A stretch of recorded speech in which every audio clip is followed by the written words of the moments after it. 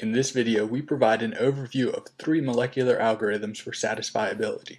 In the second part of the video, we present an example of each of the three algorithms. We start off with a simple example of each algorithm using colored circles to represent literals.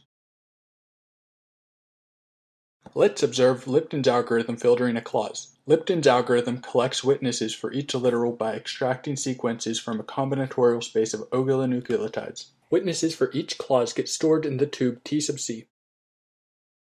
Ogihara and Ray's algorithm builds witnesses from the initial set of four witness candidates.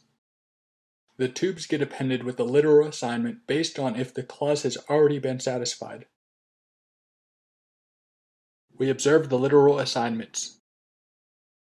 The distribution algorithm removes conflicting witness candidates by filtering the contents into T sub n. To avoid redundant literal assignments, we filtered matching literals into T sub p. We assigned a literal to all remaining tube contents. Now we mix T sub p and T sub v into the tube T sub c to store witnesses for the current clause. Now we execute each of the three algorithms on a common example. Pause the video to examine tube contents.